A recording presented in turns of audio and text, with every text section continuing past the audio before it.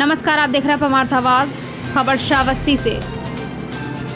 Police अधीक्षक श्री अरविंद कुमार मौर्य द्वारा जनपद में अपराध एवं अपराधियों के विरुद्ध चलाए जा रहे प्रभावी नियंत्रण व कार्यवाही के क्रम में अपर पुलिस अधीक्षक श्री बी सी दुबे व क्षेत्र अधिकारी नगर भिनगा श्री हौसला प्रसाद के कुशल नेतृत्व में प्रभारी निरीक्षक श्री ददन सिंह थाना मल्हीपुर व एसएसबी की संयुक्त टीम द्वारा अभियुक्त भाईलाल पुत्र पलटन निवासी गाँव दुर्गापुरवा जमुनहा बाज़ार थाना मल्हीपुर, जनपद श्रावस्ती को दो सौ उनसठ सीसी नेपाली शराब के साथ गिरफ़्तार किया गया।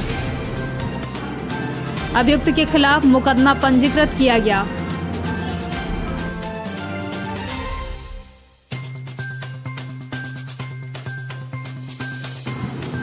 श्रावस्ती से ब्यूरो चीफ गंगेश कुमार गुप्ता की रिपोर्ट।